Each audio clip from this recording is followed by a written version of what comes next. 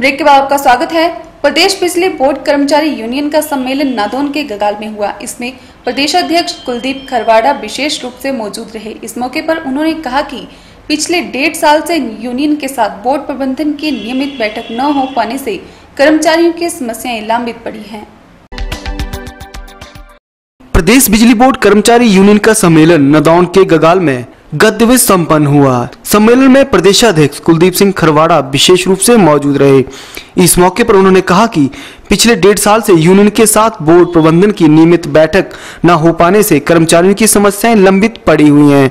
उन्होंने कहा कि बिजली बोर्ड के प्रबंधक वर्ग के अनुसार मुख्यमंत्री कार्यालय का दबाव है कि सिर्फ़ भारतीय मजदूर संघ के संबंधित संगठन से ही वार्ता करनी है।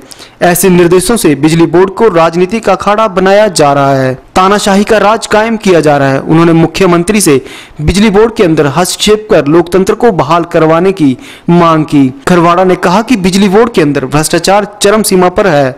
ऐसे कई मामले बोर्ड प्रबंधन के ध्यान में भी लाए गए हैं, लेकिन भ्रष्टाचारियों पर कार्रवाई करने की बजाय उन्हें संरक्षण दिया जा रहा है।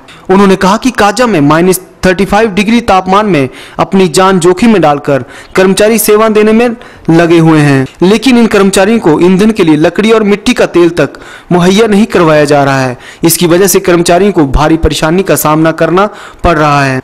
इस मौके पर यूनियन के वरिष्ठ उपाध्यक्ष कामेश्वर दत्त शर्मा, पवन मोहिल उपाध्यक्ष सुनीता कुमारी और जगमेल सिंह ठाकुर सहित अन्य कर्मचारी मौजूद रहे। इस मौके पर राज्य बिजली बोर्ड कर्मचारी यूनियन की नदौन इकाई के चुनाव हुए, जिसमें नीतीश भारद्वाज को इकाई अध्यक्ष चुना गया, जबकि आशीष शर्मा को वरिष्ठ उप प्रधान प्यारचंद, अनिल कुमार, विनोद कुमार, केहर सिंह, अंकुश शर्मा, हंसराज, संजय कुमार, ज्योति प्रकाश, पवना देवी को उप प्रधान नियुक्त किया गया। पंकज परमार को सचिव अजनीश कांत, विपिन सिंह, विजय कुमार, रणवीर सिंह को संयुक्त सचिव का कार्यभार सौंपा गया।